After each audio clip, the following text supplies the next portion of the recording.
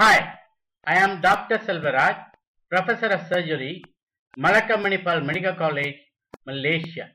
Welcome back to my series of surgical teaching videocasts. These are meant mainly for undergraduate medical students doing the surgical clerkship rotation.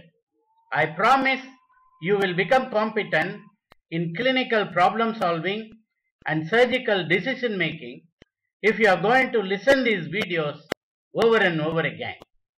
In this episode, I am going to talk one of the important topics in general surgery, the head injury. So almost 50% of the death in trauma patient is due to head injury. I am not going to talk elaborately, but I have included the essential minimum an undergraduate medical student should know.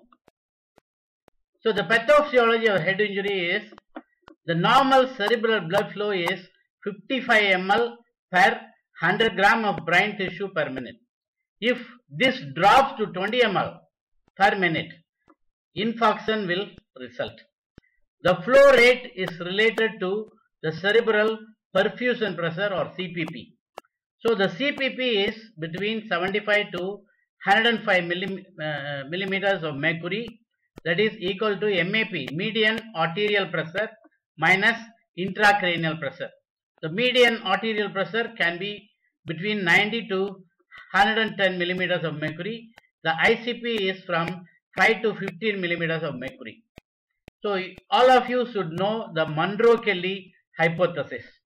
Skull is a confined rigid space that contains brain, CSF and blood. The sum of the intracranial volumes of the blood, brain and CSF is constant.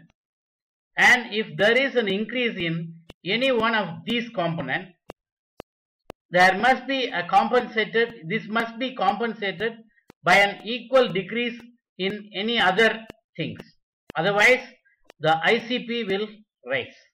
Once the IP, ICP rises, it results decreased cerebral blood flow and eventually brain herniation. So the brain herniation can happen here. This is number one is the uh, the cingulate gyrus can go beneath the falx cerebri and this is called subfalcine herniation or the herniation may be associated with the midline shift. The number two is the midline shift.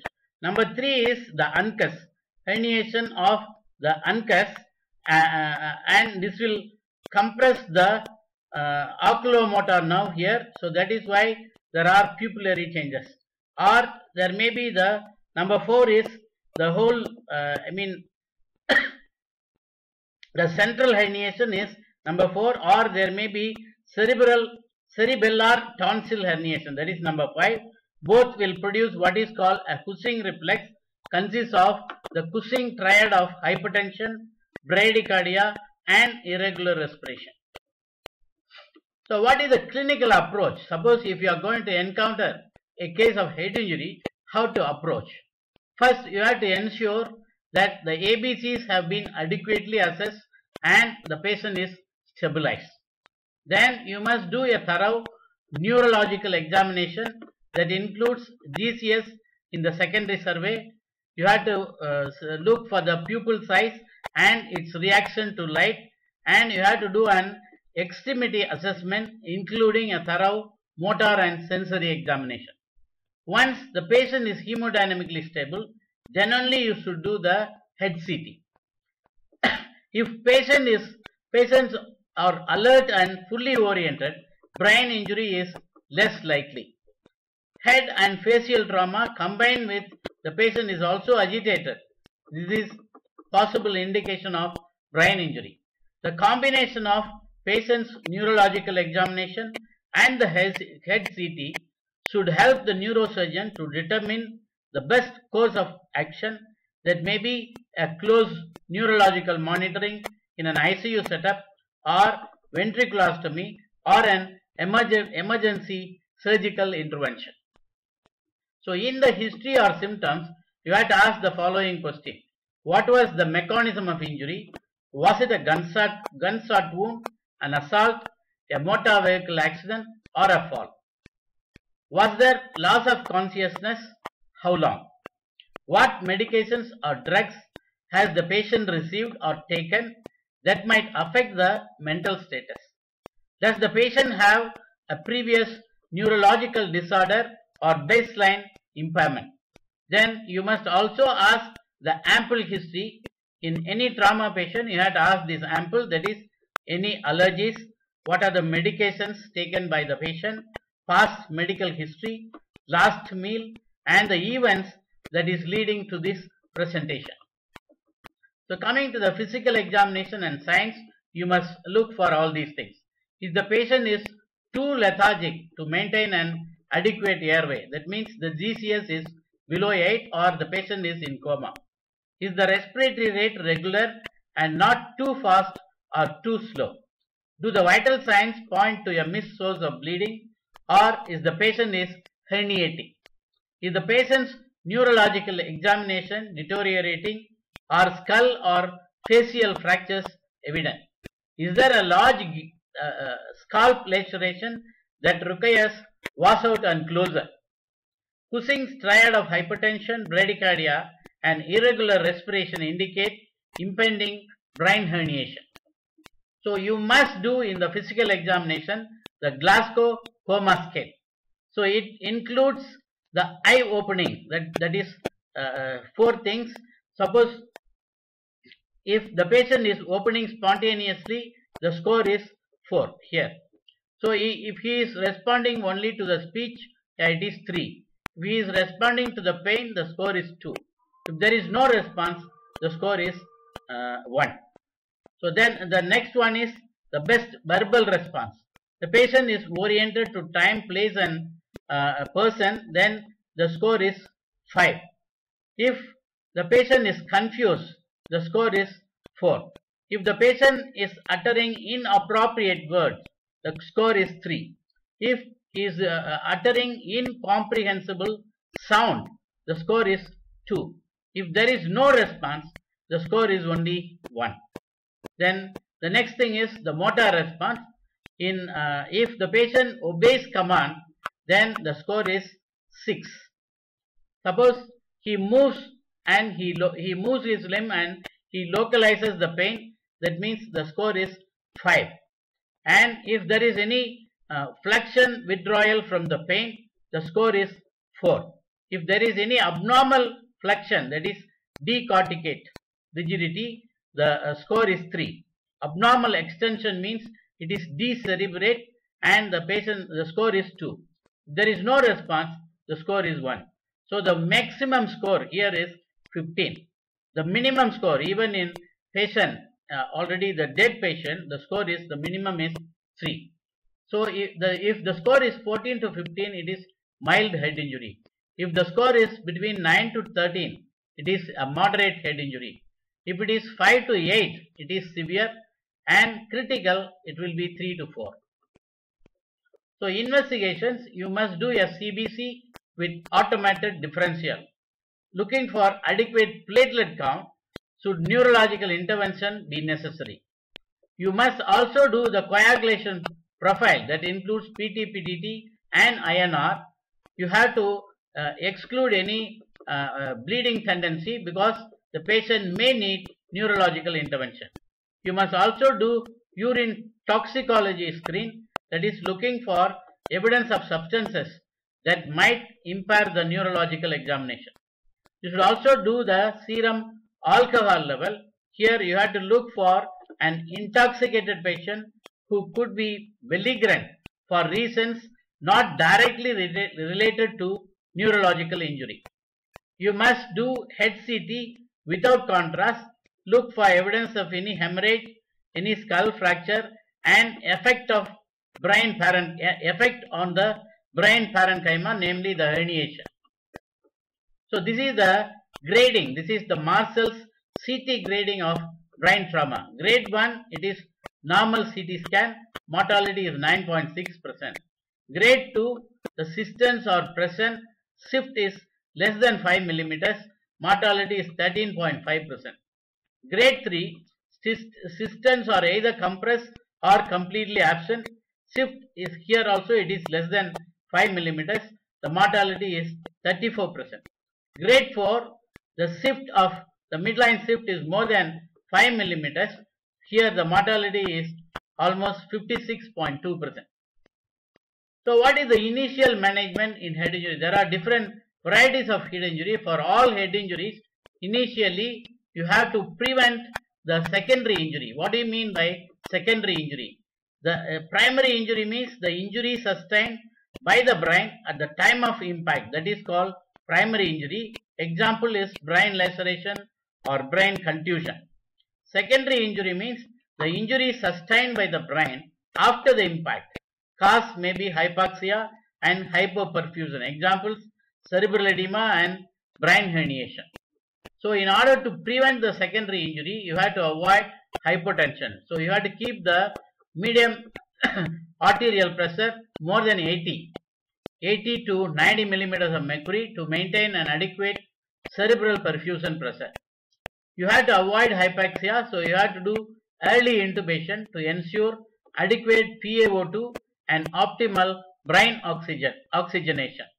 Treatment of increased ICP before ICP monitoring by elevation of the head after ruling out spinal injury, temporary hyperventilation to maintain the PaO2 around 35 millimeters of mercury. Then you should also give mannitol to treat increased ICP. You can do you can give high dose mannitol that is 1.2 to 1.4 gram per kg can be used as a temporizing measure. This is only a temporary measure prior to neurosurgical intervention. You can also do uh, you can also give hypertonic saline. The maintenance of serum sodium 145 to 155 millimole per liter via a bolus dosing or continuous infusion of 3% normal saline. You should also do seizure prophylaxis. Almost 20 to 25% of these trauma patients will be having at least one episode of post-traumatic seizures. This uh, seizure frequency can be diminished by giving anti-epileptic drugs like phenytoin and levetiracetam.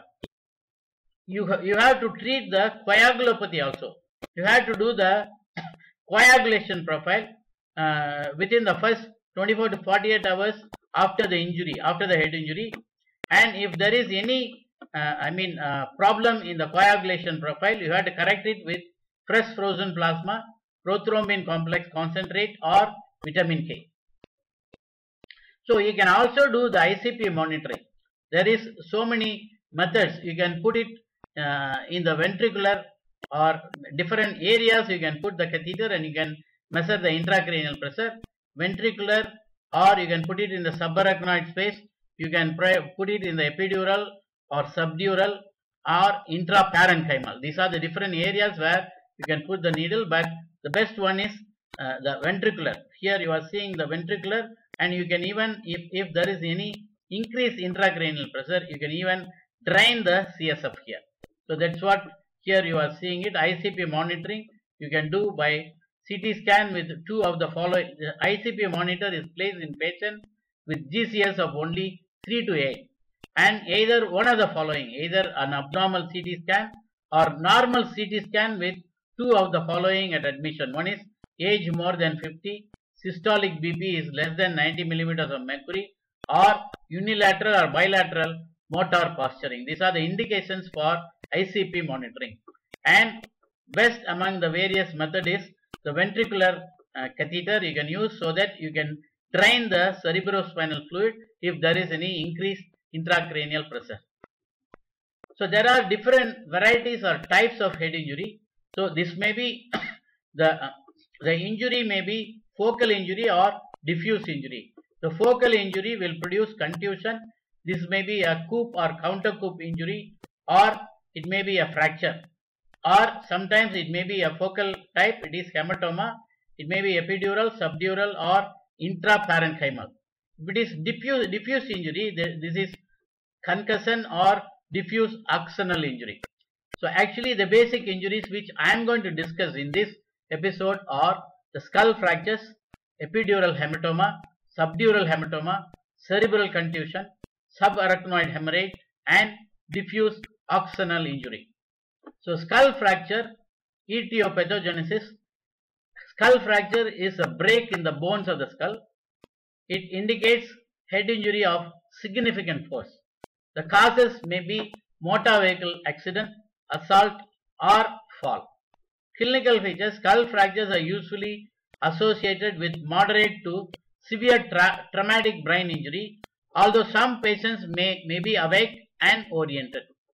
Diagnosis there will be clinical evidence of the, the clinical evidence of basilar skull fractures include raccoon's eye, battle sign, and cerebrospinal fluid leaks through the nose, that is CNF, CSF rhinorrhea, or through the ears, that is CSF otorrhea. So you must do HCT, that is the diagnostic test. Treatment for skull fracture, closed skull fracture, no need for any surgical treatment unless there is significant bony depression, that is more than the, the thickness of the skull. This is depressed skull fracture, needs surgical intervention. If there is CSF rhinorrhea or otorrhea, treat them conservatively, but persistent leaks require lumbar drainage or an epidural blood patch. Open skull fracture, you have to wash out to prevent infection in patients who survive their injury. So these are the different skull fractures. Here you are seeing a linear skull fracture in the frontal bone. Here also you are seeing a uh, uh, fracture, skull fracture. The both are skull X-rays. Here in the CT scan, you can see the uh, skull window. Here you are seeing a fracture. Here you are seeing a depressed fracture because it is more than the thickness of the skull. The depression is dis displacement is more than the thickness of the skull. Here also you are seeing two fractures. One one in the frontal area on the right side and here on the in on the parietal area. So both are undisplaced fractures. In This you need not do anything. You have to just observe. Here you are seeing apart from the fracture, you are seeing a air collection there. This is called pneumatocele. Inside the inside the skull, you are seeing air collection because of the uh, injury. So here also you are seeing frontal air collection. Here also you are seeing air collection or pneumatocele. So here also the same thing. Here you are seeing a depressed fracture but multiple fragments, comminuted fracture. It is open outside so you have to clean it and you have to elevate this depressed fracture. Here also you are seeing a fracture but there is a uh, hematoma also there inside. So the in, in case of basilar skull fracture, if it is fracture of the base of the um, anterior cranial fossa, base of the anterior cranial fossa, the patient will be having what is called uh, raccoon's eye, the periorbital hematoma. You are seeing the bilateral periorbital hematoma with uh, CSF rhinorrhea or epistaxis. They have already done the packing. Uh, nasal pack was done to this patient. And if it is a middle cranial fossa uh, fracture, basilar fracture, you can see the battle sign or the near the mastoid process, you will see a ecchymosis.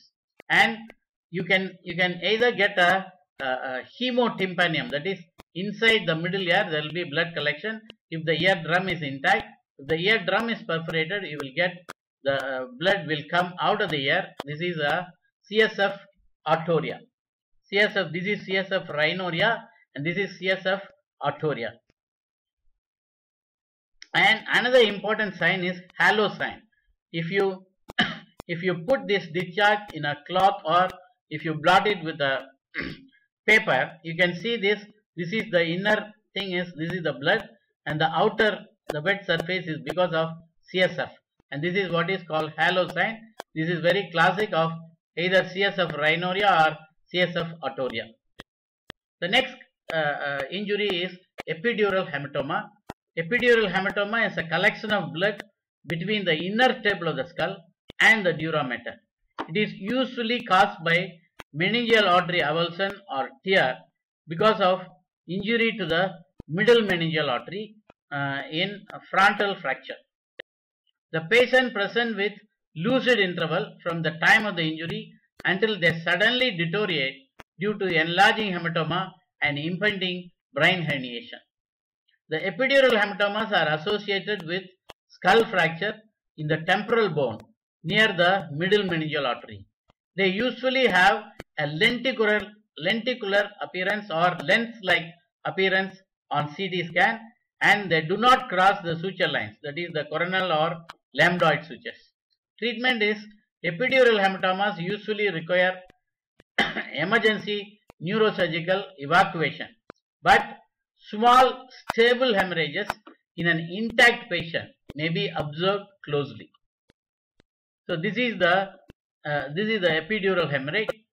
So okay, I have talked about this already. This is midline shift. This is the Uncus shift. This will compress the oculomotor nerve, and that is why these patients are going for pupillary change. And this is the epidural hemorrhage where it is associated with the fracture and it is mainly it is arterial. And this is uh, subdural hemorrhage. This is uh, this is usually it is because it is a venous hemorrhage. So here you are seeing a minimal this is a, a ct scan. You are seeing minimal epidural hemorrhage. And here you are seeing a massive epidural hemorrhage with the midline shift. Here also there is a shift. This is an operative picture after craniotomy you are seeing a blood outside the dura mater so you have to evacuate this blood and then you have to close the brain, close the, uh, the craniotomy wound. So the next problem is the subdural hematoma or SDH.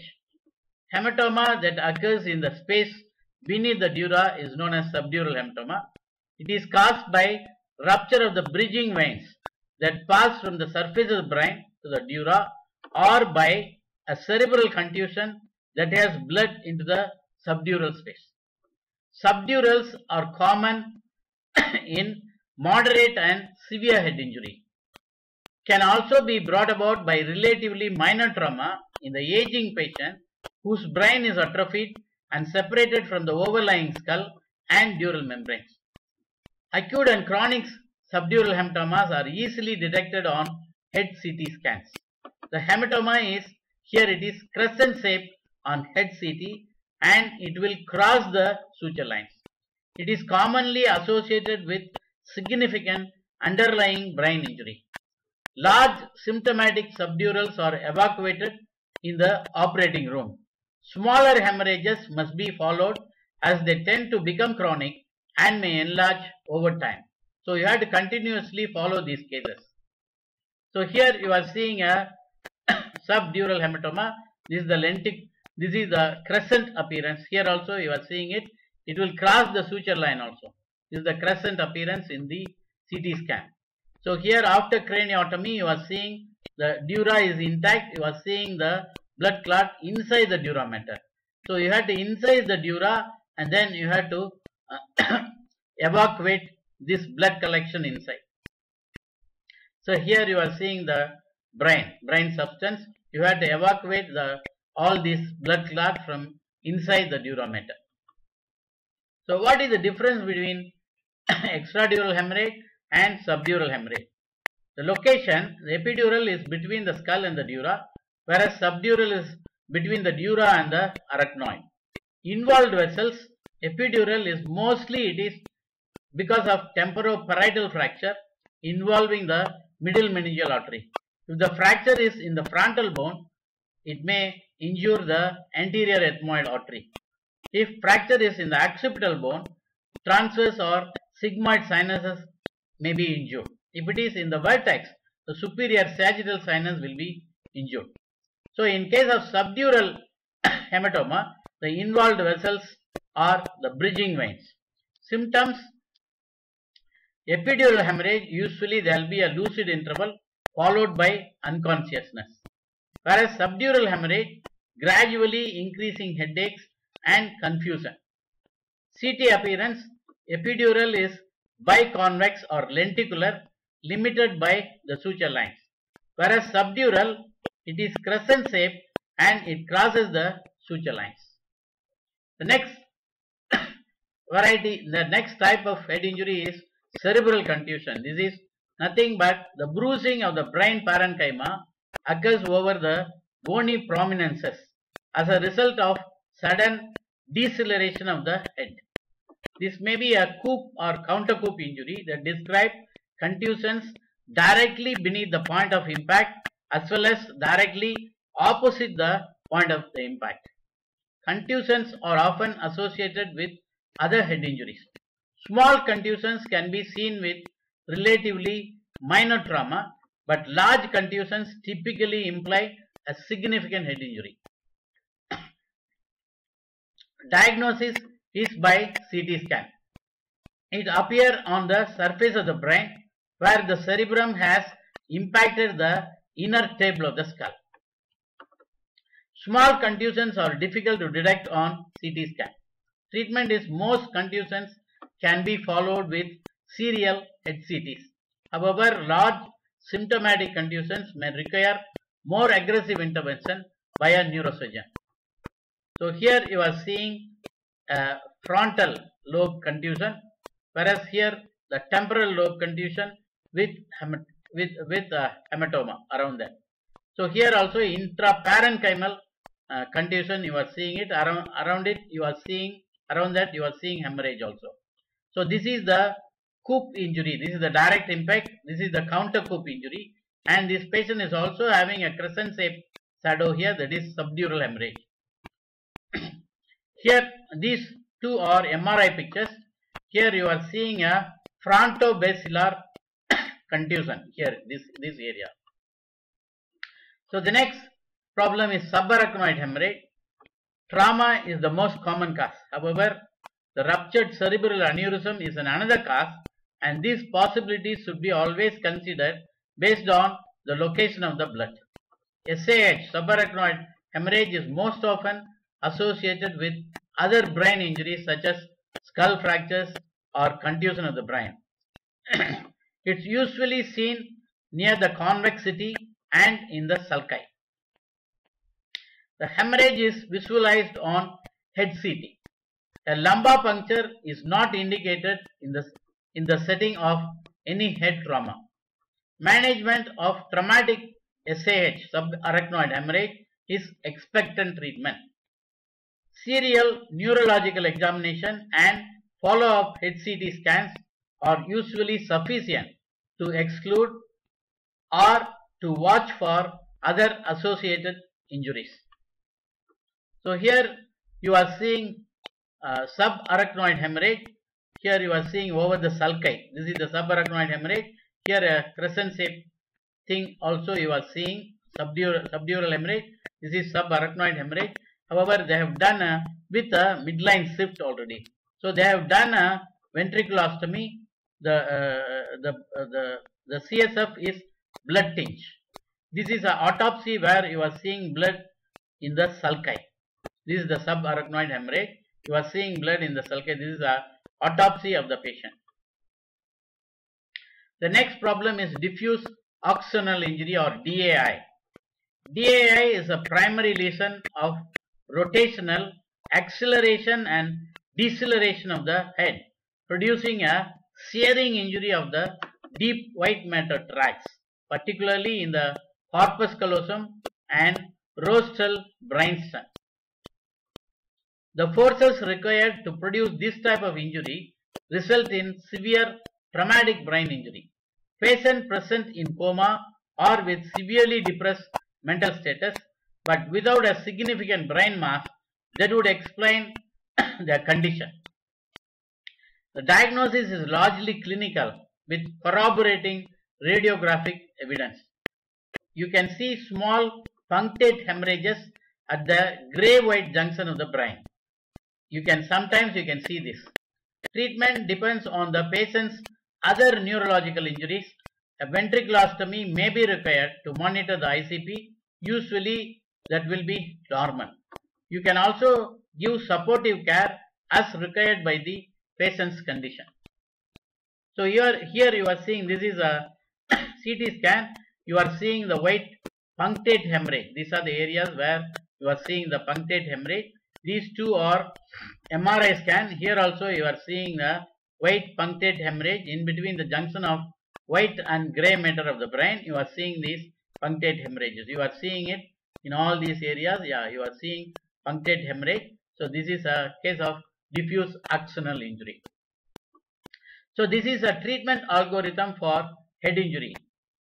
close head injury, you have to take a thorough history and physicals. I have told all these things already. Mechanism of trauma, the level of consciousness, that is GCS, localizing signs, whether the uh, pupil is reacting, external uh, ocular muscle movement, all those things you have to see. You must also do a ABG and blood gases, oxygen saturation you have to do. You have to look whether the patient is conscious or unconscious or under anesthesia.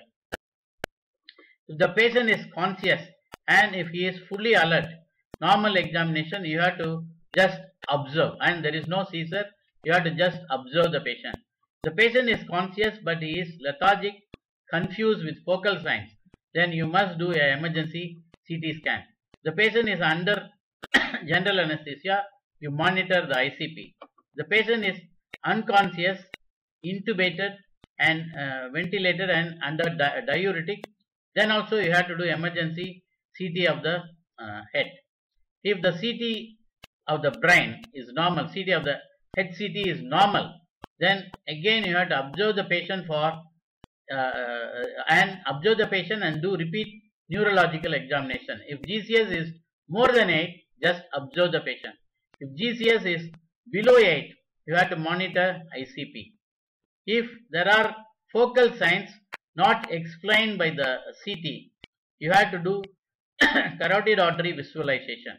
If the emergency CT is abnormal, say there is a focal mass not following and the patient is not following the commands and if there is a midline shift also then you have to do a craniotomy.